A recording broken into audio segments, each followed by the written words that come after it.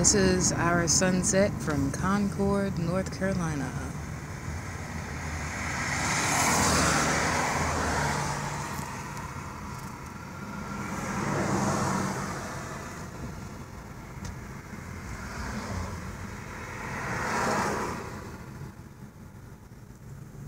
Sunset's are always more beautiful in the, the fall, or going into the fall, uh, when winter changes to spring. It's just my, that's just my opinion, but I could be wrong.